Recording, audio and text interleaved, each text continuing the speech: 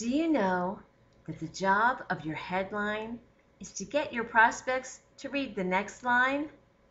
You want to make sure that you resonate, your message touches and connects with your prospects. Hi, I'm Debra Jason with The Write Direction, marketing and writing with heart, not hype, at writedirection.com. And here's today's quick copywriting tip.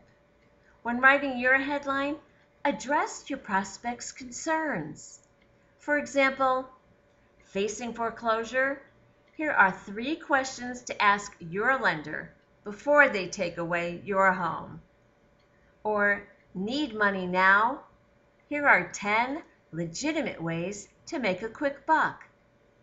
So remember when you're writing your headline, one thing you can do is address your prospect's concerns. You want them to say, Yes, yes, this person understands me.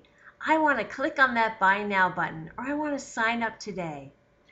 So don't forget to implement that tip when writing your headline.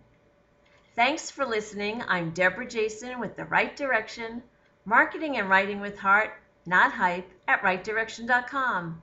Please leave your comment in the comment section below because I'd love to hear from you.